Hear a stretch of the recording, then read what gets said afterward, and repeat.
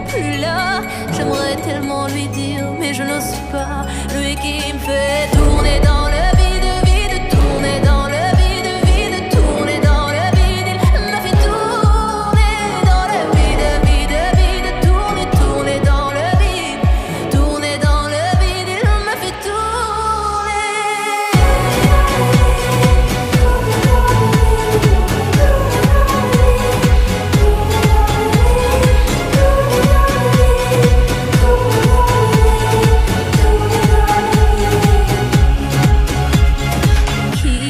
me dire ce qui est arrivé.